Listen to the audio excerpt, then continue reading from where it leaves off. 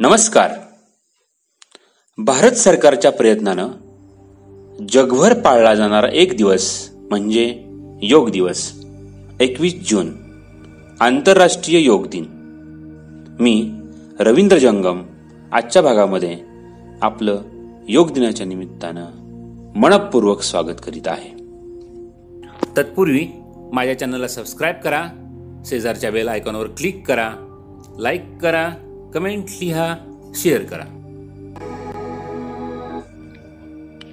योग अगदी प्राचीन काळापासून योग प्रचलित आहे. प्राचीन ऋग्वेदात योगाचा उल्लेख आढळतो. पशुपतीनाथांच्या एका नाण्यावर योग मुद्रा आहे. उपनिषदांमध्ये योगातील शारीरिक आसनांचा उल्लेख आहे. योग संकल्पनेची मांडणी भगवद्गीतेत सुद्धा केली आहे. योगाची व्याप्ती मोठी आहे. आसन आणि प्राणायाम म्हणजे योग अशी काही जणांची समजूत असते. योग शब्दाचा अर्थ जोडणे असा होतो.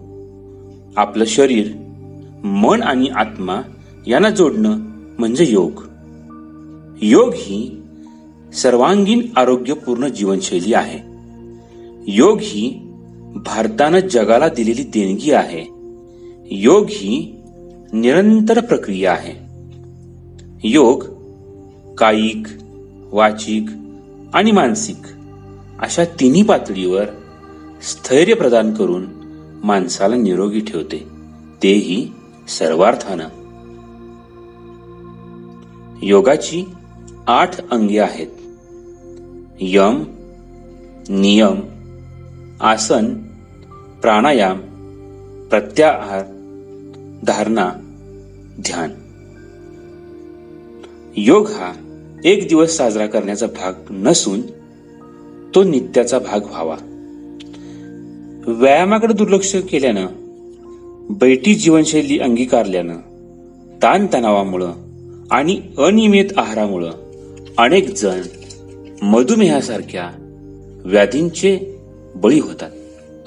योग करण्यासाठी वयाचं बंधन नसतं. तुम्ही युवक असा नाहीतर वयोवृद्ध. तुम्ही निरोगी असा किंवा आजारी. सर्वांसाठी योग लाभदायक आहे. एकवीस जून हा दिवस आंतरराष्ट्रीय योग दिवस म्हणून साजरा करावा असा प्रस्ताव भारताने संयुक्त राष्ट्राच्या सभेमध्ये सप्टेंबर दोन हजार चौदा मध्ये मांडला. त्याला एकशे त्र्याण्णव देशांपैकी एकशे पंच्याहत्तर देशांनी पाठिंबा दिला. डिसेंबर दोन हजार चौदा मध्ये या प्रस्तावावर सविस्तर चर्चा होऊन चर्चेअंती तो सर्वानुमते मंजूर करण्यात आला आणि एकवीस जून दोन हजार पंधरा पासून आंतरराष्ट्रीय स्तरावर एकवीस जून हा दिवस योग दिवस म्हणून साजरा केला जातोय